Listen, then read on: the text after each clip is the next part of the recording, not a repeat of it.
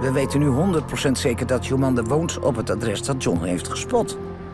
Ik heb besloten om nu naar Jomanda te gaan. Voor mezelf, maar ook om een poging te doen om haar over te halen... om voor de camera haar eigen verhaal te vertellen. Weet je eigenlijk of ze thuis is? Want Nee, ik heb, ik heb geen flauw idee. kom ik helemaal uit Nederland staan? Ja, ik ben zo benieuwd. Ik bedoel, er zijn een paar dingen. A, is ze thuis? Ja? En B, doet ze de deur open als ze me ziet staan? Ik, ik denk namelijk van wel, maar dat zal me toch niet gebeuren? Ik, ik begin ineens te twijfelen hoor, en alles. Ja? Ja, ik, ik, ik vind het zo vreemd allemaal worden. Ha. Zitten we nou? Ja. Een paar minuten spannend. Ja, ik word nou zenuwachtig. Dit is de straat. Hier woont ze. Een klein stukje verderop, aan de rechtse kant. Daar is haar woning.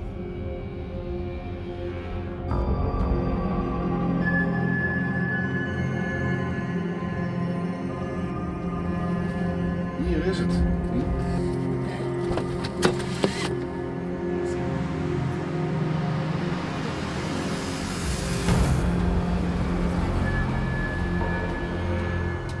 Je moet een pad steil op naar boven. Nou, zo slecht als ik loop, hè, vanwege mijn rug, heb ik even John's arm geleend en die brengt mij dan naar boven.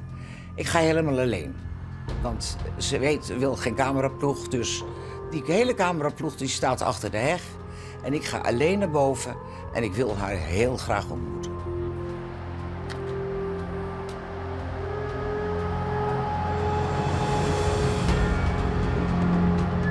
Het is het soort huis wat ik heel erg leuk vind. Zo'n houten huis in het bos. Maar wel een beetje... Ik weet het niet. Het, is, het ziet er niet verwaarloosd uit, maar... ik zou niet zeggen dat het echt leefbaar is. Ik bel daar aan, dan duurt het een hele tijd.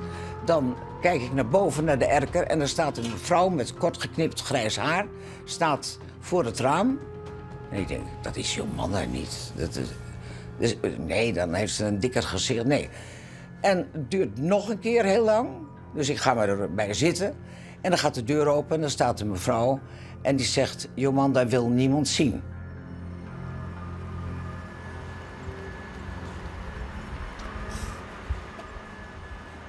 Ze wil niemand zien. Jomanda, Lady of the Light. Alleen te zien op Discovery Plus.